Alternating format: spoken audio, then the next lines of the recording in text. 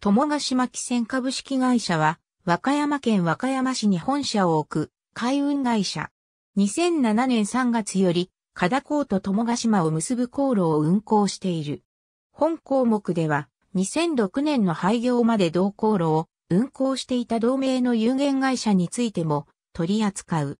友ヶ島は戦後南海電鉄グループにより観光開発が進められたため、同航路も南海グループの南機関港が運航していた。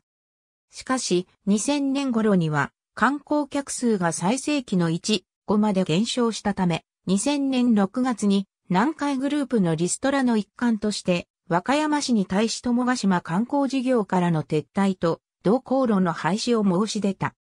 これに対し和歌山市や地元の観光業者及び市民などから反対の声が上がったものの、2002年3月末には、航路を含めた観光事業が全廃となった。このうち、加港から友ヶ島間の航路については、平井通船が引き継ぐこととなり、有限会社友ヶ島汽船を設立し、運行を開始した。片道の運賃は、南機関港時代と同じ、往復運賃は1760円から1500円に値下げされたが、しばらくして値上げされた。その後、2006年に地元の加田漁業協同組合が釣り人を対象に、土休日運行のチャーター便事業を始めたことも影響して乗客が減少し、原油価格の高騰もあって経営が苦しくなったため、2006年11月末をもって有限会社友ヶ島汽船は廃業した。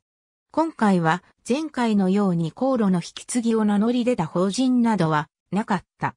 運行認可の関係から、友ヶ島汽船は12月17日まで運行を延長し、その後、加田漁業協同組合が引き継ぐことが決定した。2007年3月から同漁協により運行されることとなり、新会社の友ヶ島汽船株式会社が設立され、有限会社友ヶ島汽船廃業前の社員や船舶などをほぼそのまま引き継いだが、運行本数は削減されている。現在の友が島は南機関港時代に新造された船であり、2016年までは友が島一隻のみでの運航であったが、2016年4月頃よりラピュタを新たに就航させ、二隻体制での運航となっている。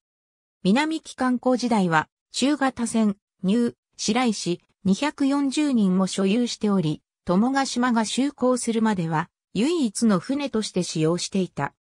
加港航路においては、客が多い時に輸送力はない代わりに、足の速い友が島と足が遅い代わりに輸送力のあるニュー、白石を交互に使用し、新日光航路においては、便数や新日光の関係から、友ヶ島のみを使用していた。ニュー白石は、岡山県の笠岡と真鍋島や白石島などを結ぶ山陽汽船からの譲渡船であり、船名も白石島に由来する。また、最大搭載人数も山陽汽船時代の名残で運行時間によって変わる表記がなされていた。友ヶ島通常機の運行本数は引き継ぎ前の7本から4本へ減少している。なお、現在の運行本数は1998年前後における通常機の南機関港時代と同じ本数である。新船のご紹介。ラピュタ、ラピュタ、号の船内です。ありがとうございます。